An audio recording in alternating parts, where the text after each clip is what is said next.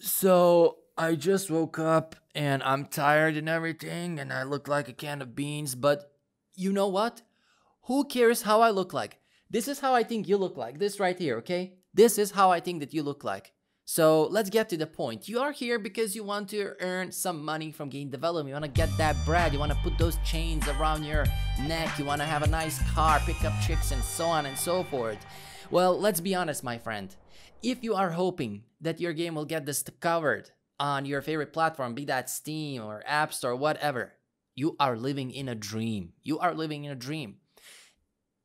Unless you're very, very, very, very lucky, something like Flappy Bird will not happen to you. The days where you just put a game online and get millions of downloads are over. So that means that you and I regular mortal people, we need to step up our game and market our game. Well, it's simple like that. But, you know, how can we do that?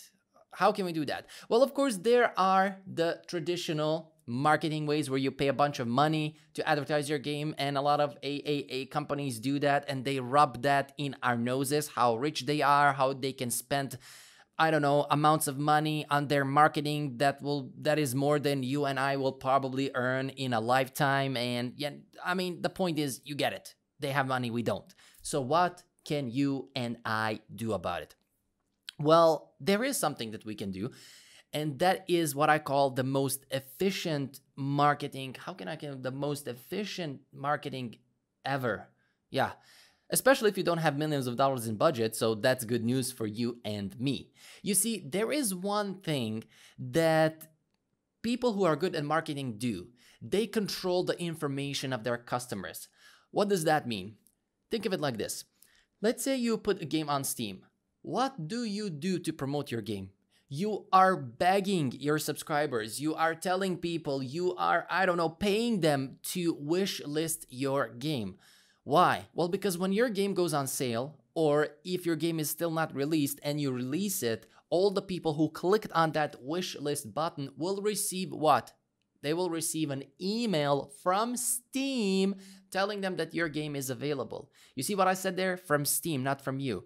So Steam knows this and these companies know these things. That's why they don't allow you to get your customers information such as an email address because nowadays that's the best way to contact people online. So what you and I need to do, let me put my thinking cap, my, you know, my brain cap, whatever you want to call it, my idea cap you and I need to get emails from our customers.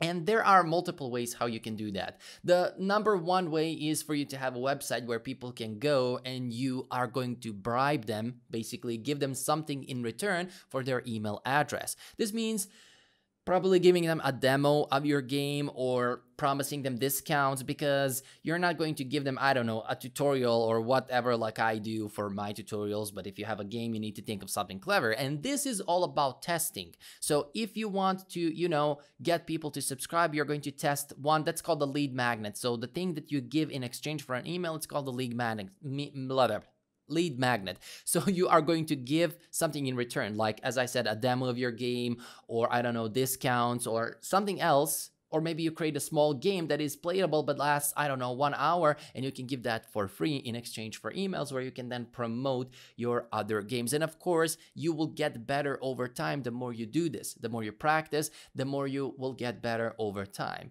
And how you can get people or lure people into your website? Well, basically, there are numerous of ways to do that. You don't have to use paid marketing. You can simply go on Facebook groups, share your game, share your idea, share your website simply introduce yourself, share your website, tell a little bit about yourself, about your game, and people will click and go over there. Of course, this is all of this that I'm talking about is assuming that you have a playable game, that you have a nice looking game. Uh, I'm not talking about you just went to my tutorial, you copy pasted my game, you know, the 3D-fied one, you put it on Steam for two for $200.